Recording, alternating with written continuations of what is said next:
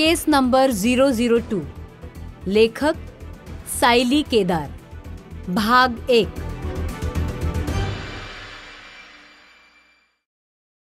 Please सोड माझा हात. अपर्णा तिच्या डोळ्यातलं पाणी लपवत म्हणाली तसा तो तिच्या आणखीनच जवळ आला. अप्पू मला माहिती आहे तुझं माझ्यावर प्रेम आहे. तू कितीही नाही म्हणालीस तरी ते प्रेम कमी होऊ शकत नाही. तुला कळत नाहीये मी काय सांगते ते? मला राहायचं नाहीये तुझ्याबरोबर मला तुझ्याशी काहीही संबंध ठेवायचा नाहीये. माझं सामान दे आणि मला मोकळं कर. अप्पू अप्पू प्लीज आपण छान संसार करू शकतो. आपण मागचं सगळं विसरून नव्याने सुरुवात करूया. अपर्णा त्याच्या डोळ्यात थेट बघत राहिली. डेक्कनच्या गर्दीत गाड्यांच्या कलकलाटात आणि धुरात तो काय म्हणतोय हे समजून घेऊन पचवायचा ती प्रयत्न करत होती. त्याने अजूनही तिचा हात सोडला नव्हता. संसार करायचा चान्स घालवलाय आता आपण. प्लीज मला जाऊ दे. मला फॉलो करू नकोस आणि कृपा करून माझी मिसिंग कंप्लेंट वगैरे करू नकोस. मला शोधूसुद्धा नकोस. मी मेले असे समज.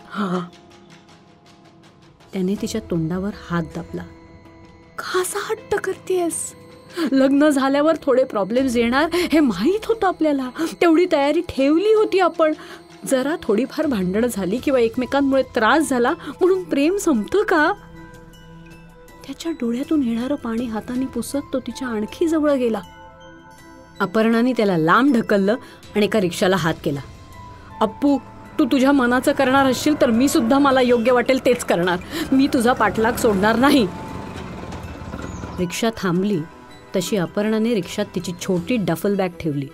त्या गर्दीतच रस्त्याच्या कडेला पार्किंग ब्लिंकर्स लावलेल्या त्याच्या गाडीतून त्याने एक ट्रॅव्हल बॅग बाहेर काढली. तो ती ट्रॅव्हल बॅग रिक्षात ठेवायला मदत करेल अशी अपर्णाला अपेक्षा होती पण तो हल्ला नाही. अपर्णाने जमेल तशी घसटत ती बॅग रिक्षात ठेवली आणि पुणे स्टेशन सांगून ती रिक्षातून निघून गेली. तो रिक्षाकडे बघत तसाच उदास उभा राहिला. फिर्यादीचं नाव बबन माणिकराव साळवी. पुढं पत्ता सांगा. सिंहगड रोडवरच्या एका छोट्या पोलीस स्टेशनात पी एस आय पवार पूर्ण फोकस करून कंप्लेंट लिहून घेत होते. समोर बसलेलं मिडल एज्ड कपल एकमेकांमध्ये सतत कुजबुजत होतं. पुढं बोला बबन साळवी पत्ता सांगा पत्ता. साहेब मी काय म्हणतो तक्रार ऑफिशियलीच द्यायला पाहिजे का? अहो तुम्ही त्यांना काही विचारताय तक्रार द्यायला पाहिजे का? ते पोलीस आहेत ना? तुमचे कोणी आहेत का? मी बायको आहे ना तुमची? गेले आठ वर्ष वडाला काही वेळ जात नाही म्हणून फेऱ्या मारल्या काय? काय मी? साहेब तुम्ही यांचं काही ऐकू नका. प्लीज लिहून घ्या आमची कंप्लेंट साहेब तुम्ही समजवा हिला जरा. अहो असं एक पत्र आलं म्हणून काय कोणी लगेच एफ आय आर करायला येतं का? पत्र? साहेब स्पष्ट धमकी लिहिली आहे त्यात. यांना कोणी काही केलं तर मी कोणाकडे बघायचं? नवरा बायकोतला वाद बघत पवार शांतपणे बसला होता. इतक्यात त्याचे सर इन्स्पेक्टर निरंजन प्रभू स्टेशनात आले. झपझप पावलं टाकत थेट त्यांच्या जागेवर बसत कॅप टेबलावर टेकवली. स्टेशनातलं वातावरण एकदम फॉर्मल झालं. काय चाललंय पवार? कसली फिर्याद देत आहेत सर धमकीचं पत्र आलंय. कसली धमकी? बरं वाईट करण्याची. का? पत्रात म्हटलंय याचं या बबन माणिकराव साळवीचं लवकरच काहीतरी बरं वाईट करणार आहेत. काय करता साळवी तुम्ही? मोठ्या साहेबांनी प्रश्न विचारला म्हटल्यावर बबन साळवी जरा सावध झाला. दुकान आहे सर किराणा मालाचं कोणाशी काही दुश्मनी भांडण पैसे बुडवले वगैरे. साहेब माझा नवरा एकदम सरळ आहे. कोणाशी भांडण नाही की कोणावर हात उचलत नाही. उलट आमच्याच दुकानी इतक्या लोकांचे पैसे थकलेत. पण त्यांना सुद्धा काही बोलत नाहीत. सोडून देतात. आम्ही आजवर कोणाचा एक रुपया सुद्धा बुडवला नाही. बायकोच्या आवाजात खणखणीत कॉन्फिडन्स होता. साळवी मॅडम तुम्ही पत्र आणलंय? हो साहेब. निरंजननं लेडी कॉन्स्टेबलला इशारा केला. या कॉन्स्टेबलमुळे यांना दाखवा. त्या बोलतील तुमच्याशी. कॉन्स्टेबलमुळे साळवीबाईंबरोबर बाहेर गेली. तसा निरंजन उठून पी एस आय पवारच्या टेबलापाशी आला. साळवीच्या नजरेला नजर देत त्यांनी काही सेकंद तशीच घालवली.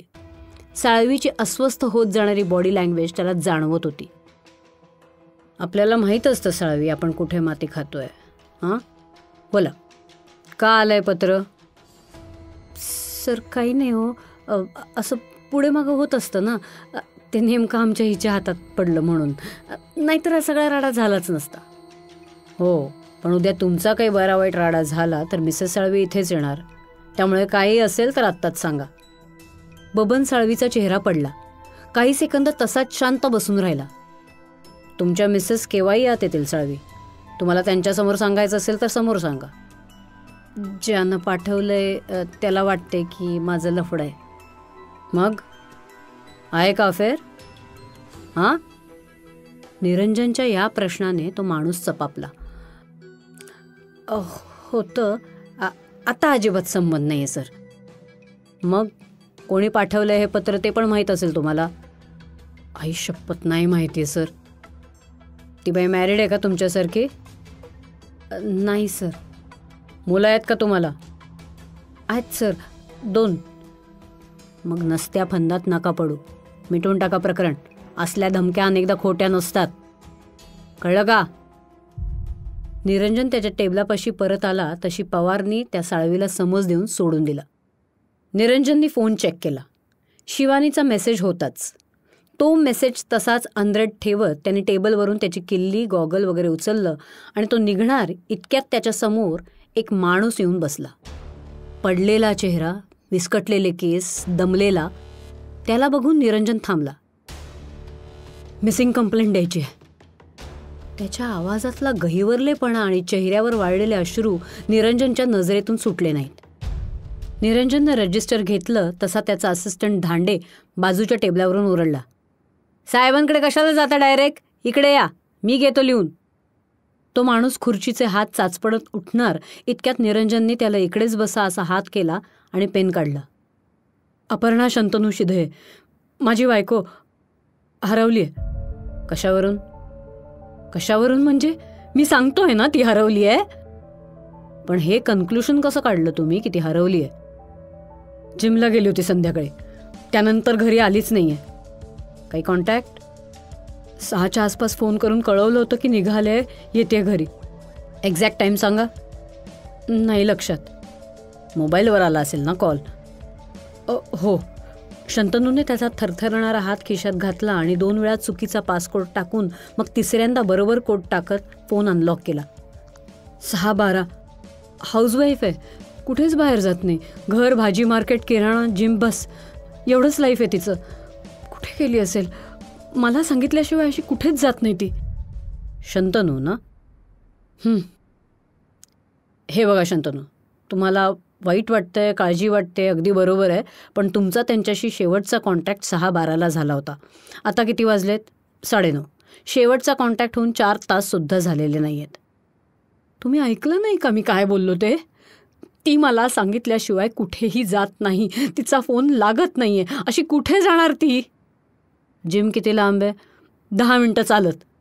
कुठे पडल्या काही लागलं? मी सगळा एरिया चेक केला आहे कोणा ओळखीच्यांकडे गेले असतील? माहेरी वगैरे. आज वाट बघा. नाही आल्या उद्या सकाळपर्यंत तया. निरंजन उठला आणि स्टेशनच्या दाराकडे जायला लागला. त्याची चार पावलं पडली असतील नसतील इतक्यात त्याला दंडाला हात धरून शंतनूने खसकन वळवलं. एक कंप्लेंट नाही लिहून घेऊ शकत. मी सांगतोय ती कुठे जात नाही. सकाळपर्यंत तिचं काही बरं वाईट झालं तर तुम्हाला सोडणार नाही मी. त्याच्या हिमतीकडे आणि आगाऊपणाकडे निरंजन संतापाने बघत राहिला. पी एस ए धांडेंनी शंतनूला हाताला धरून स्टेशनच्या बाहेर सोडलं. निरंजनी घरी जायला निघाला इतक्यात धांडेंनी त्याला थांबवलं. म्हणून म्हणत होतो सर. कशाला क्राईम वगैरे? म्हणजे मी वाचलं ना की तुम्ही भारीतली भारी केस सोडवली गोव्यात. पण ती गोव्यात सर पुण्यात डेप्युटेशन असताना ट्रॅफिक घ्यायचं रिलॅक्स करायचं. तर तुम्ही क्राईममध्ये आला. आता तुम्हाला पण स्ट्रेस आणि वहिनींच्या जीवाला घोर. कशाला? निरंजननी त्याचं म्हणणं शांतपणे ऐकून घेतलं. जीवाला घोर नको असं जेन्युनली वाटतं ना तुम्हाला? शंभर टक्के सर पण मला नाही वाटत. त्यामुळे मी क्राईममध्येच ठीक आहे. पाहिजे तर तुमच्यासाठी मोठ्या सरांशी बोलतो आणि ट्रान्सफर ऑर्डर निघते का ट्रॅफिकला ते बघतो. बघू ना धांडे. धांडेचा चेहरा पडला तशी निरंजननी त्याच्या बुलेटवर ढांग टाकली आणि तो एका क्षणात नाहीसा झाला. शंतनू हातात सिगरेट घेऊन राजाराम पुलावर बसला. फारशी गर्दी नव्हती. या शांततेत त्याला जितकं बरं वाटत होतं तितकंच रडू येत होतं. त्याचा फोन वाजला. ज्योती कॉलिंग असं वाचून त्याला फारसं बरं वाटलं नाही. पण परत परत येणारा कॉल बघून त्यानं फोन उचलला. बोल अप्पूला दे ना. मी बाहेर आहे. का? संपूर्ण ऑडिओ बुक्स ऐकण्यासाठी आजच डाउनलोड करा स्टोरीटेल ॲप आणि ऐका शेकडो मराठी क्लासिक्स सोबतच स्टोरीटेल ओरिजिनल्स कथाही. Don't, don't, don't.